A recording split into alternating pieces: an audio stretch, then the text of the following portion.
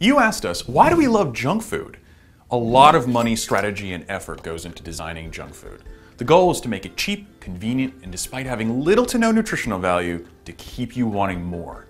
It's typically high in things like salt, sugar, and fat, which trigger pleasure centers in our brain, making us feel oh so yummy good and encouraging us to keep eating. You see, our brains are relatively big and require a lot of energy to do their thing. So we evolved to love high energy food. Beyond the super high calorie count, junk food makers have a million tricks up their sleeve when it comes to making their products irresistible. Like the melt in your mouth quality that tricks us into thinking the calories have magically floated away, or boosting flavor just short of what's called sensory specific satiety.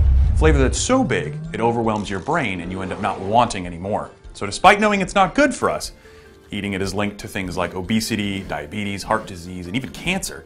Junk food can be really hard to resist. Food for thought for sure. For more stories like this, check us out every day at Smithsonian.com.